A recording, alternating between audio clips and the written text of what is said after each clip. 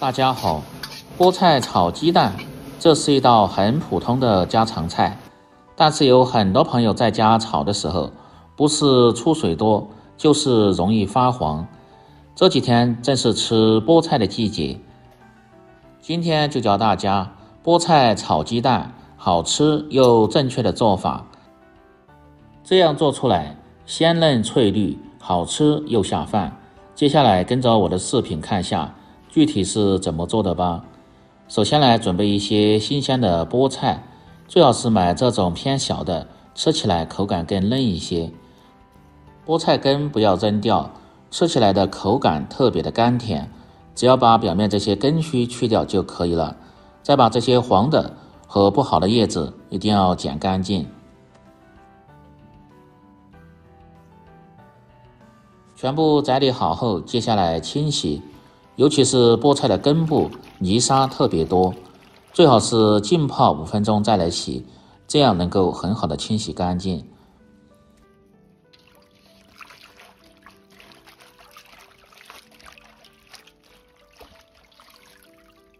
洗的时候手一定要轻一点，因为菠菜偏嫩，要不然容易糟烂。最好是清洗两到三遍。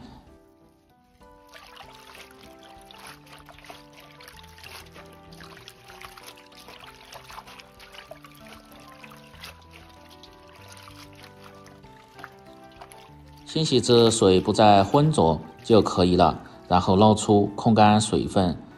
再来准备几个新鲜的母鸡蛋，没有鸡蛋的用鸭蛋和鹅蛋都是可以做这道菜的。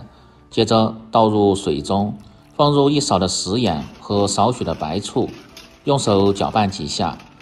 这两样主要是起到消毒和杀菌的作用，因为鸡蛋的表面有些残留的鸡粪和其他细菌。通过这样的清洗，吃起来更健康。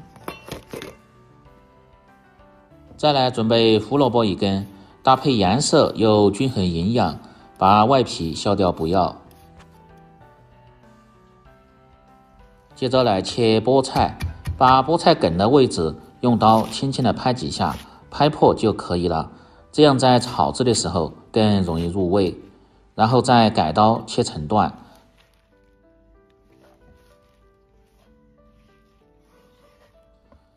全部切好后装入盆中，再把胡萝卜切掉尾巴不要，再斜刀切成块，然后切成薄片。喜欢吃辣的还可以切入一些小米辣。接着来准备小料，大蒜两三颗，先拍破，然后再剁碎。少许的大葱切成葱花，切好后装入盆中。接着把控干水分的鸡蛋打入盆中，全部打完后，放入少许的食盐增加底味，适量的白醋可以去除鸡蛋的腥味，而且炒出来更鲜嫩蓬松一些。用筷子向一个方向慢慢的搅拌均匀。像这样就可以了。全部准备好后，进行下一步操作。起锅烧水，先来汆烫菠菜，放入少许的植物油，这样可以减少营养的流失，而且汆烫出的菠菜色泽翠绿，不会发黄。菠菜在炒制之前，建议大家最好是通过焯水去除草酸，这样吃起来才健康。因为草酸对身体是有害无利。保持大火汆烫三十秒钟就可以了，然后捞出，倒入冷水中，用手搅拌几下，稍微凉透，然后捞出，挤干水分。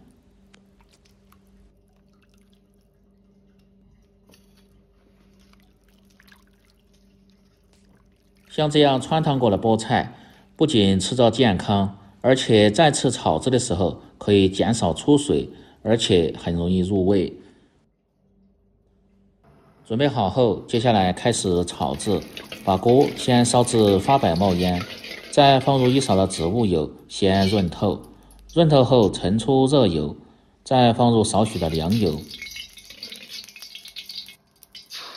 油热后，保持中火，倒入鸡蛋液，这样炒鸡蛋就不会粘锅了。先静止五六秒钟左右，让蛋液能够很好的定型，再用勺子向一个方向慢慢的推动。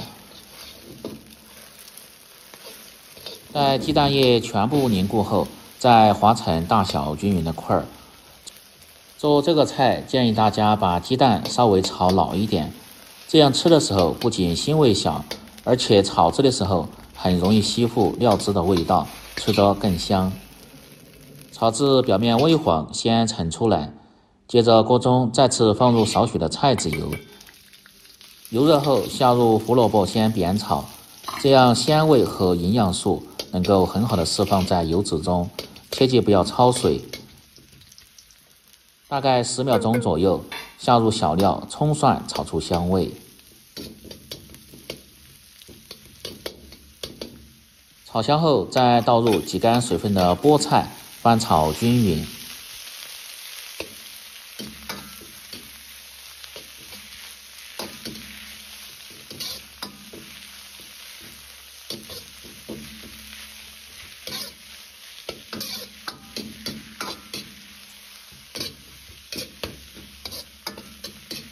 翻炒大概十五秒钟左右，接着来调味，放入适量的盐。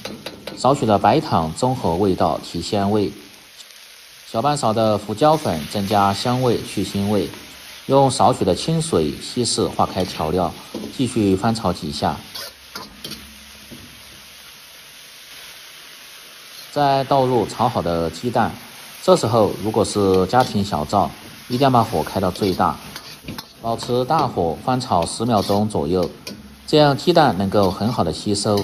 菠菜出的汤汁，吃起来鲜香又入味。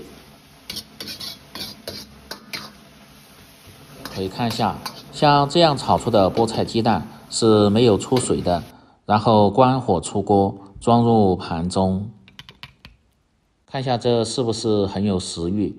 菠菜在炒之前，建议大家一定要通过焯水去除草酸，这样吃起来才健康。焯水这一步非常的关键。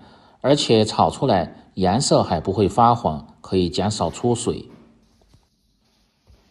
这样一道简单家常、鲜嫩翠绿、下酒又下饭的菠菜炒鸡蛋就做好了。